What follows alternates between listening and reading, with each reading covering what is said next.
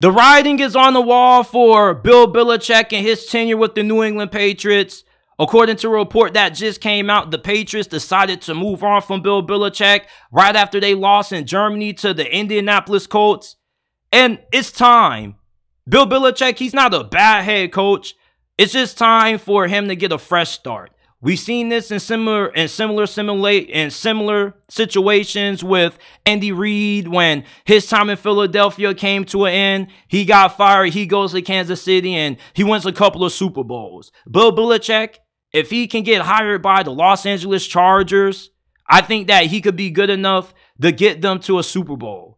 It's not that this dude has lost it when it comes to knowing what it takes to have a good team or a championship caliber team, at least defensively. His defenses are championship caliber. It's just that he's terrible when it comes to drafting on the offense side of football. He doesn't know how to draft receivers, doesn't know how to evaluate that position.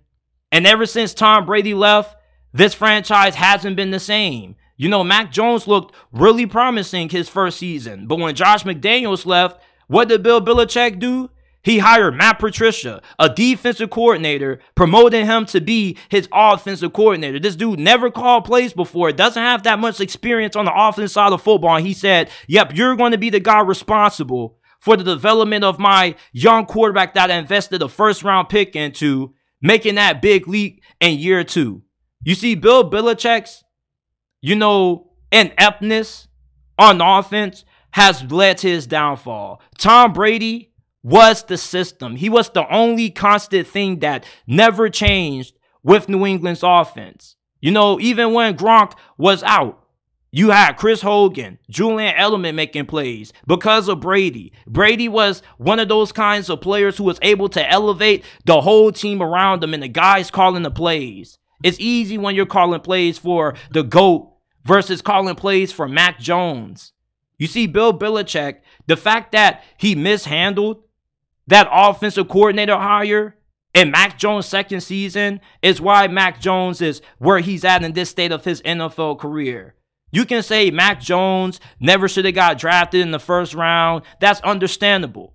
But let's not act like this dude didn't show a little bit of promise when he led the Patriots to 11 and 5 record and they went to the postseason that year in his rookie year. Things went down the went downhill when Bill Belichick promoted Matt Patricia as his OC, and he tried to correct that mistake, but it was already too little, too late. You see, once you have your young quarterback in a situation where he's going outside the organization to seek help, that's a sign that things are not looking good for him when it comes to his development.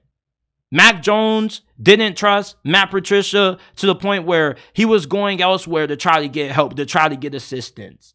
You can put all of the Patriots' offensive problems on Mac Jones all you want to, but Bill Belichick deserves a lot of blame for that decision to make Matt Patricia his OC. And you bring in Bill O'Brien, you thought that he would be able to make this offense at least a tad bit better than what it was under Matt Patricia, but things still haven't gotten better. As a matter of fact, they look just as bad or maybe worse than what it was in 2022. Offensive line ain't great. Receivers can't really separate. The best receiver for New England has not been Juju or Kendrick Bourne or DeVante Parker, a dude who Bill Belichick decided to give a three-year deal to, $30 million. That was another awful decision, and it further illustrates Bill Belichick's ineptness on offense. It was Demario Douglas. Demario Pop Douglas is the most talented wide receiver that the Patriots had on this roster this past season. And he's injured right now, and we don't know when he's going to come back.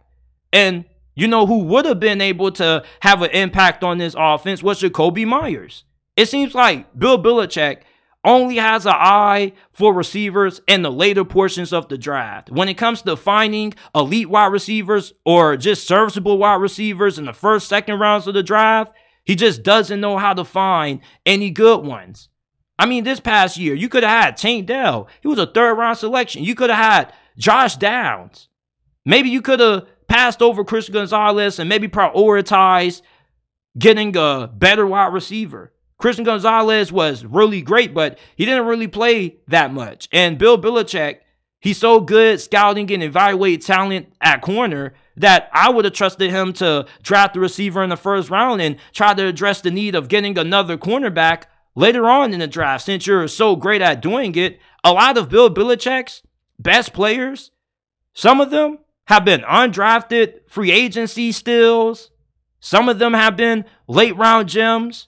Bill Belichick is a really good talent evaluator when it comes to every position other than quarterback and wide receiver. He does a really good job at drafting defensive and offensive linemen. Cornerback is always a really good position on his team. The defense is never a problem. The problem is he doesn't know what the fuck he's doing on offense anymore. So for New England, you got to move on for him.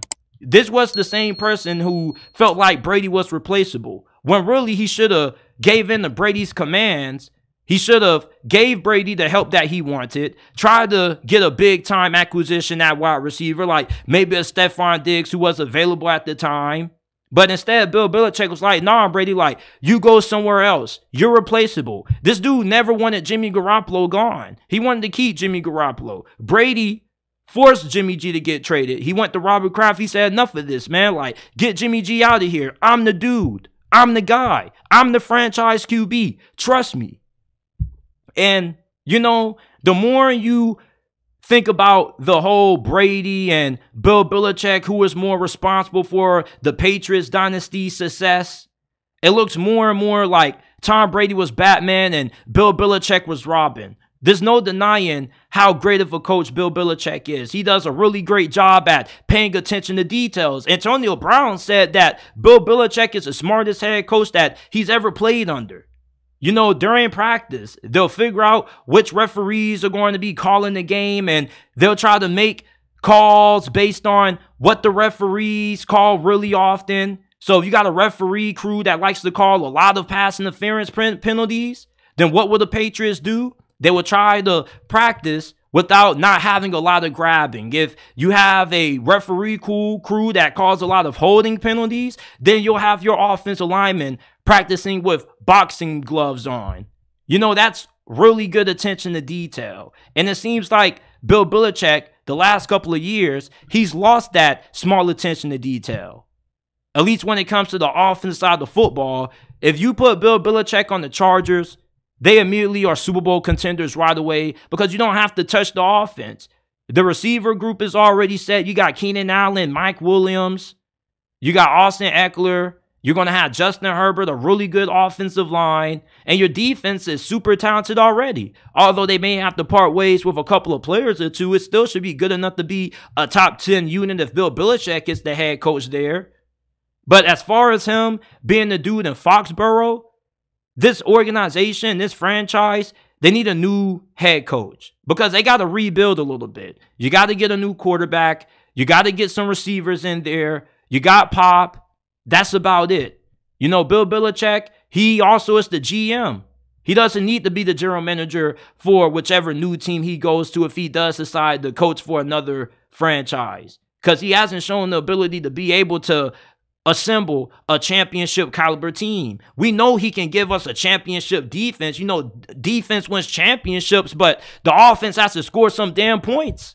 This offense is abysmal. And I mean, he had Malik Cunningham. Malik Cunningham should have gotten the start. This dude has a lot of athletic upside with his mobility.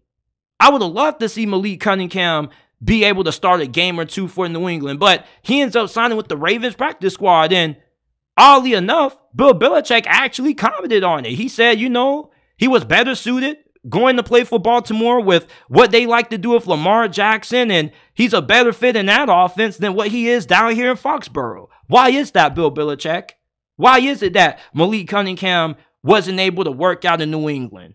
You weren't able to adapt your offense around him?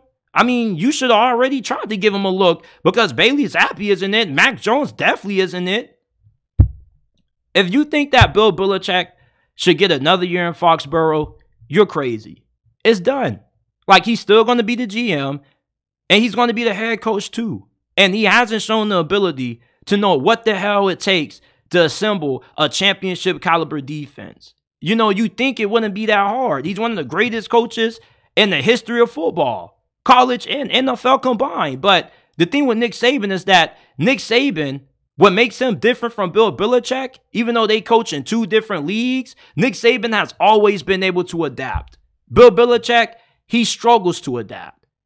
Brady was the only reason why that offense was as good as what it was. You take him away, this offense hasn't been even serviceable. This offense has been abysmal, minus Mac Jones' rookie season. And the reason why Mac Jones looks like a bust isn't just because the dude can't play. It's because Bill Belichick, instead of going out of the organization and giving this dude a good offensive coordinator to help him in his second season, he gives him a defensive coordinator as his offensive coordinator. Come on, Bill. What the hell was that? Bill Belichick has to go. It's time for the New England Patriots to move on and go in a different direction. There's another head coach whose future is in question.